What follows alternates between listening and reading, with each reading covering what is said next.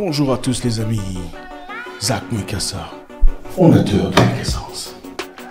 Merci encore infiniment d'être là aujourd'hui avec nous. Le plaisir est immense.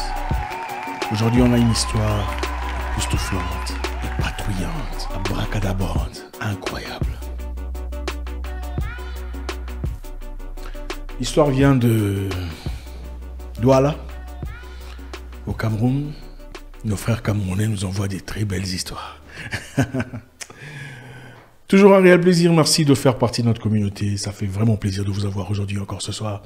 On va essayer euh, ensemble de trouver quelques solutions euh, aux préoccupations de notre frère Gérard. Gérard Camerounais, 38 ans d'âge, dans une situation complètement complexe. On fera très vite pour gagner le temps.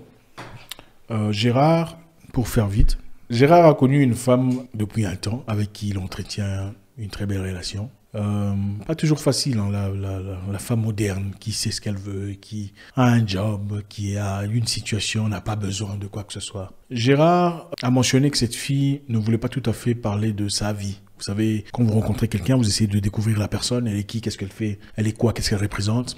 Il y a des aspects de sa vie qui restent très... Euh, très flous, dans le sens où, prends-moi tel que je suis, c'est ma vie, on regarde ensemble l'avenir. On regarde comment progresser ensemble. Le passé, c'est le passé. Voilà, vous savez comment ça fonctionne. Donc voilà, Gérard a entretenu une relation depuis quelque temps avec une fille euh, qu'il trouve euh, intéressante euh, et souhaiterait emmener les choses à un niveau supérieur. Et maintenant, depuis un temps, ils ont commencé leur préparation, leur préparatif pour aller officiellement se présenter à la famille. maintenant, qu'est-ce qui s'est passé? Gérard a découvert que la fille avec qui il est censé faire ce grand événement est en effet sorti avec son demi-frère pendant deux ans. Son grand frère, le fils de son père. Le fils de son père, le grand frère de Gérard, est sorti avec la copine de Gérard pendant deux ans. Maintenant se pose un problème, un réel problème. Gérard veut épouser la fille. Il a déjà préparé tout ce qu'il avait à préparer. Il y a l'argent, il y a la dot, il y a tout le bazar. D'après lui, on lui aurait demandé beaucoup de choses pour la dot. Il s'est préparé. Il a tout acheté. Et la dot est prévue pour la fin du mois prochain. Maintenant, il vient de découvrir que cette fille a entretenu une relation pendant deux ans avec son grand frère, le fils de son père, vivant dans une autre ville. Et ça ne s'arrête pas là. Une fois pendant qu'il partait marcher, il a retrouvé son boss, son ancien patron. Son ancien patron et lui avaient gardé une très bonne relation. Il a ensuite vu le patron saluer sa copine à l'époque. Sa copine avait très honte, elle n'a pas, pas traîné, elle est partie très vite. Alors Gérard est resté très calme et euh, il a demandé euh, au patron, vous la connaissez d'où Il a fait très semblant. Le patron dit, ah cette fille-là, elle venait me voir au bureau. Elle venait me voir très souvent, enfin, passer, tu sais, ce sont des filles, bon, tu sais, bon. Imaginez-vous le sentiment d'un homme. Donc voilà, le frère Gérard se demande qu'est-ce qu'il doit faire? Comment est-ce qu'il doit s'y prendre? La dot est prévue pour le mois prochain. Tout a été réuni, les gens sont là, les gens attendent. Comment doit-il réagir dans cette situation? Pendant qu'il montrait les photos de la fille à l'un de ses meilleurs copains, son cousin a réagi. Oh, mais ça c'est Laetitia, on va pour pas, dire le vrai nom de la fille. Il montrait la photo de sa copine à son pote. Et le cousin du pote était là. Le cousin du pote dit, mais ça c'est Laetitia. Mais le cousin du pote ne savait pas que Gérard était en effet en train de présenter sa fiancée, donc sa future femme, à son ami. Mais c'est Laetitia. Et le cousin qui demande, comment tu la connais? Mais c'est une de mes... Euh, enfin, pas ex, je dirais pas ex, on s'est vu deux fois ou trois fois. On vraiment jamais sortis ensemble, c'était juste un truc de quoi. Le frère sait pas comment réagir. La fille est très amoureuse de lui. Et c'est compliqué. Qu'est-ce que vous en pensez? Moi, je souhaiterais que vous posiez là maintenant. D'abord, avant de continuer, mettez un. Vous savez, hein, avant la fin de la vidéo, c'est toujours un réel plaisir. Avant de continuer, s'il vous plaît, mettez votre commentaire. Hein, stoppez là maintenant. Je vous prie de mettre votre commentaire. Est-ce que Gérard doit continuer l'histoire jusqu'à la fin? Donc épouser la fille, payer la dot. On lui a demandé beaucoup d'argent, beaucoup de choses. J'adore le Cameroun. Après, euh, sinon, posez, faites votre commentaire, ensuite suivez la vidéo. Je ne veux pas influencer qui que ce soit dans son commentaire. Je souhaiterais voir vos commentaires à la fin de la vidéo et que chacun assume sa position. Faites-le maintenant. Donc voilà, moi j'y vais. Gérard, mon frère, merci infiniment pour le courage, merci de nous avoir contactés. C'est toujours un plaisir immense de pouvoir apporter un plus dans la vie de, nos confrères qui nous contactent. Mais d'abord, je vais commencer par dire ceci. Quand je vous dis qu'il faut connaître le passé de la femme, les gens pensent que c'est de la blague. Et vous entendrez des gens, enfin, on a commencé une nouvelle vague où on vous dit un vrai homme n'a pas besoin de connaître le passé de la femme. Qui vous a dit ça? Un vrai simp n'a pas besoin de connaître le passé de sa femme. Un homme homme veut savoir où tu étais. Ça ne veut pas dire qu'il viendra fouiller jusqu'à hein, fouiller tes aisselles pour savoir où tu es passé. Mais il faut savoir, il faut avoir une idée. Tu, es quoi? Tu es qui? On ne peut pas épouser une meurtrière ou une sorcière sans le savoir. Vous n'achetez pas une voiture, une voiture ou une maison sans au moins parcourir, connaître l'histoire qui, qui a été ici. C'est très important. La raison pour laquelle les femmes n'aiment pas parler de leur passé, là je parle de certaines femmes, vous les connaissez, hein, celles-là, elles n'aiment pas parler de leur passé, c'est une seule raison, la honte.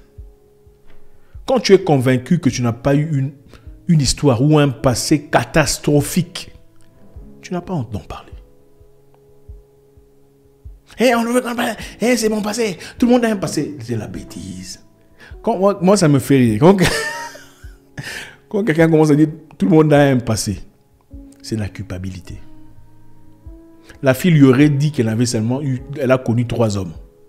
J'ai connu trois hommes et d'après Gérard, à chaque fois qu'il a voulu parler de cette vie, elle a coupé court. Non, je n'ai pas envie de parler de mon passé. Dans ma vie, j'ai connu dans mon intimité trois hommes. Mais si Gérard compte les hommes dont elle, elle parlait, ne sont même pas ces hommes qu'il a découverts. La plupart des femmes qui vous disent j'ai connu trois hommes, la plupart, il faut prendre ça et multiplier ça par 7. C'est ça la vérité. Regardez, quand la femme te dit je suis sorti avec tel, avec Luc, avec Marc, elle ne compte pas Jérôme parce que Jérôme était une histoire d'une soirée. C'était une histoire de... Ouais. Elle ne compte pas Patrick parce qu'avec Patrick ça a fait deux semaines. Ils se sont vus deux, pendant deux semaines, chaque jour, chaque jour, et puis Patrick a disparu. Elle ne compte pas Richard, parce qu'avec Richard, ça s'est passé peut-être dans la voiture. Si pas dans la voiture, elle était stressée, tout ça, voilà, euh, c'est passé, et puis voilà. Les femmes comptent généralement une histoire qui a duré un minimum de six mois. Minimum six mois. Et, et le six mois là doit être un truc qui a vraiment touché son cœur. Les femmes, beaucoup de femmes comptent seulement l'histoire qui a marqué son cœur. Les autres histoires, elles n'en parlent pas. Parce que c'est un peu comme pour elles, c'est un peu comme si on diminuait sa valeur en parlant de ces histoires. Ça doit rester top secret. On ne doit pas savoir qu'elle a connu 37 hommes de toute sa vie. Oui, écoutez, il faut assumer. Il faut assumer. Soit on ne le fait pas, soit on ne vit pas comme une femme, une courtisane, pour plus tard avoir honte de parler de son histoire. C'est une honte. Soit on ne le fait pas. On vit comme une personne normale, sans hypocrisie. On n'aime pas parler de son passé. C'est à cause de l'hypocrisie et la honte. On réalise combien on était léger moi, je respecterais une femme qui me dit, moi, je suis prostituée. Ou je me suis prostituée dans ma vie. À cause de telle ou telle ou telle raison. J'étais peut-être immature, j'étais en besoin, j'étais en difficulté. Mais ce n'est plus ma vie aujourd'hui. C'est différent d'une femme qui vient prétendre être une sœur en Christ, comme celle-ci. C'est une sœur de l'Église qui prêche. Elle n'a pas commencé à prêcher aujourd'hui, d'après Gérard. Ça fait sept ans qu'elle prêche. Ces histoires se sont passées a même pas longtemps. Mais en attendant, on va à l'église, on va pleurer. Oh, il faut pleurer, pleurer. Mais bon, c'est ça la réalité.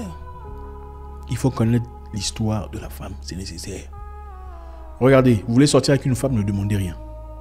Vous voulez sortir avec une femme, ne demandez rien de sa vie. Parce que vous sortez ensemble. Vous voulez une femme pour le mariage, pour votre vie. Il faut connaître cette femme. C'est normal. Moi, je comprends tout à fait le frère. Qu'est-ce que tu dirais à ton grand frère? En fait, tu épouses une femme que lui a déjà connue, il a vu la nudité. C'est quel honneur tu vas avoir devant ton frère quand il vient vous visiter? À supposer que la fille l'aime vraiment. Hein? D'abord, si elle parlait de son passé, peut-être que Gérard l'aurait dit écoute, le garçon dont tu parles là, il est grand, il est noir, il est... c'est mon frère. Ils auraient évité toutes ces histoires. N'est-ce pas? Ils ont passé des mois et des mois et des mois ensemble pour finalement en venir à ça. Quel est l'honneur de cet homme devant son ami ou le cousin de son ami qui a connu son épouse? C'est quoi l'honneur? La femme de l'homme, c'est sa couronne. La femme, c'est la couronne sur la tête de l'homme. Il ne peut pas y avoir deux tigres sur le truc, sur la montagne. Comme quelqu'un le disait, quelqu'un d'intelligent disait, ne crains pas l'homme qui essaie d'attirer l'attention de ta femme. Aie plutôt peur de celui qui a déjà connu ta femme. Celui qui a déjà été avec elle. Il connaît ses particularités. Mon frère, tout ce que je peux te dire, c'est écoute ton cœur. Je ne sais pas ce qu'elle a fait pour toi. Je ne sais pas ce qu'elle t'a apporté dans la vie. À moins que ce soit quelque chose de vraiment incroyable. Pour moi, dis au revoir. Le mariage ne peut pas être fondé sur la malhonnêteté et la honte.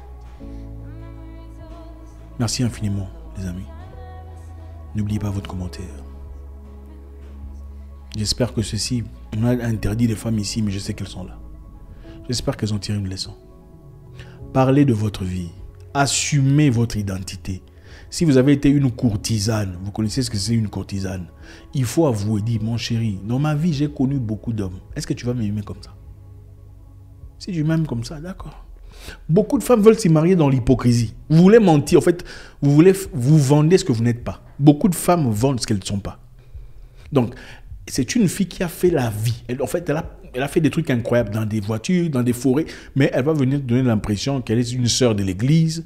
Hein, il faut la prendre comme ça. Non Il faut assumer sa vie.